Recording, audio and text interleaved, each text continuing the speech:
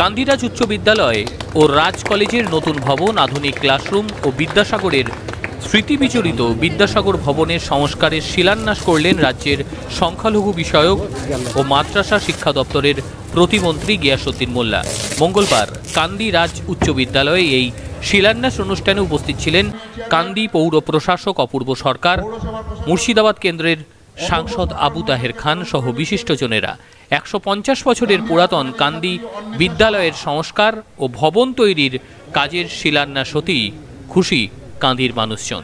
শোভন ব্যানার্জির report, NTV WB ভাই, আমাদের মুর্শিদাবাদের যারা আমাদের স্কুল, কলেজ, দীর্ঘদিন আমরা করা হয়নি। ঠিক মতো বিল্ডিং ভেঙে যাচ্ছে, হোস্টেল নেই। আমরা করার চেষ্টা করে আসছি, কিন্তু সবটা তো করতে পারি না। যাতে মুর্শিদাবাদ জেলার বেশ কিছু কলেজ, স্কুল যাতে সুন্দর পরিবেশে আমরা তৈরি করতে পারি।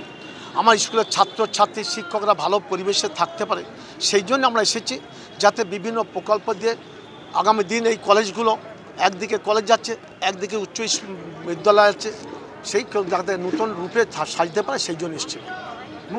সিনাসাগরে একটা হোস্টেল আছে হোস্টেল হবে। একটা বিল্ডিং ভেঙে গিয়েছে বিল্ডিং ভেঙে গেছে টয়লেট আছে বিভিন্ন আছে কাজে। বিদ্যাসাগর ভবন, কলা ভবন ও কলা কলা- ভবন আছে। একদিকে কলেজে আছে একদিকে বিদ্যালয় আছে, অডিটোরিয়াম আছে সবটা করার চেষ্টা করছি। ওদিকে যে যে স্কুলে বিদ্যাসাগর এসেছিল যে ভবনে স্কুল প্রতিষ্ঠা করেছিল যিনি সেই স্কুলের কাজ করতে পেরে কেমন লাগছে? ভাই সবটা করলে ভালো তিনি যে মনীষী আমাদের গর্ব। ঈশ্বরচন্দ্র বিদ্যাসাগর বাঙালিদের গর্ব। তাই ঈশ্বরচন্দ্র বিদ্যাসাগরের কথার জন্যই আমরা আজ মা বলতে শিখেছি বাবা বলতে শিখেছি। লেখাপড়া প্রথম আমরা পড়তে শুরু তার বিদ্যালয় করতে পেলে আমরা খুশি হব, আমার জনগণও খুশি হবে, আমাদের সরকার খুশি হবে। ঠিক আছে ঠিক নয়। আমাদের মামাটির সরকারের মুখ্যমন্ত্রী, তিনি আছেন, তিনি নিজে এলাকা ঘোরেন, আমার সব মন্ত্রী আমরা আসি। কেন মুর্শিদাবাদে আগে তিনবার, চারবার এসেছি। হয়তো কান্দিটা পরে এসেছি কেন আগেও তো মুর্শিদাবাদ হয়েছে এটা শুভেন্দু অধিকার সঙ্গে কোনো সম্পর্ক নেই। আমাদের কাজ আমরা করব, অনেকেই থাকতে পারে। আপনি বাবার জন্ম দিয়েছেন পাঁচ ছেলে বাবার অনেক আশা। যে আমার ছেলেরা ভবিষ্যতে দেখবে। অনেক ছেলেকে দেখে সে যে কুলাঙ্গার ছেলে বাম্মাকে দেখা। যায় ঠিক আমাদের দলের মধ্যে আমাদের মামাটির সরকারের যে মুখ্যমন্ত্রী। তিনি আছেন, তিনি নিজে এলাকা ঘোরেন না, আমার সব মন্ত্রী আমরা আসি কেন মুর্শিদাবাদে আগে তিন চারবার এসেছি হয়তো কান্দিটা পরে এসেছি আগেও তো মুর্শিদাবাদ হয়েছে। এটা শুভেন্দু অধিকার সঙ্গে কোনো সম্পর্ক নেই। আমাদের কাজ আমরা করব, অনেকেই থাকতে পারে। আপনি বাবার জন্ম দিয়েছেন পাঁচ ছেলে বাবার অনেক আশা। যে আমার ছেলেরা ভবিষ্যতে দেখবে। অনেক ছেলেকে দেখে সে যে কুলাঙ্গার ছেলে বাম্মাকে দেখা যায় ঠিক আমাদের দলের মধ্যে তাই আছে তাই হবে। স্কুল কলেজ দীর্ঘদিন আমরা করা হয়নি। ঠিক মতো বিল্ডিং ভেঙে যাচ্ছে হোস্টেল নেই।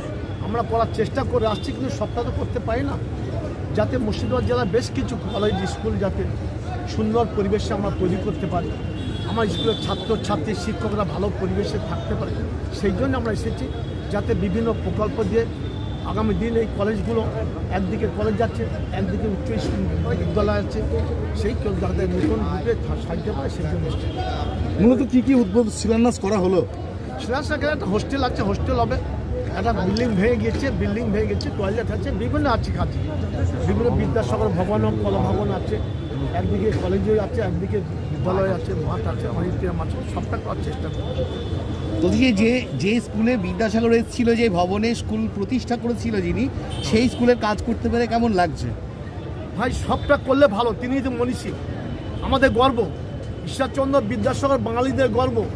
তাই ঈশ্বরচন্দ্র বিদ্যাসাগরের কথার জন্যই আমরা আজ মা বলতে শিখেছি বাবা বলতে শিখেছি। লেখাপড়া প্রথম আমরা করতে শুরু তার বিদ্যালয় করতে পারলে আমরা খুশি হব, আমার জনগণও খুশি হব, আমাদের সরকার খুশি হবে।